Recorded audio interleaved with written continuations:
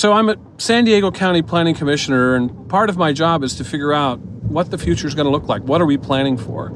And every time we have a change in the automobile, whether it's uh, you know going from a horse and carriage to a steam engine and then going to an internal combustion engine, land use changes and planning changes. And the, the biggest planning change we had really was the inception of the interstate transportation system in the 1960s, which kind of brought us to Southern California car culture. All right, so here we are. We're ready to change again. We're going into the electric car world, and what does that change look like? But if you just if you just take the car, the, the average car in the United States is eight thousand dollars. That's both new and used. The average car has five parking spaces for it. It has one at its home in a garage, or usually one at the curb. There's one at the workplace, and there's two out in the community. So each parking space is 200 square feet plus half the road or alley to get into that parking space.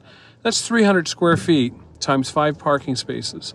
So we're, we're, we have chosen to give 1,500 square feet of space to a vehicle that's at rest 90% of the time. And, and, I just have to tell you, there has got to be a better way to do that because I, I don't give 1,500 square feet to my kid, and, and I love my children.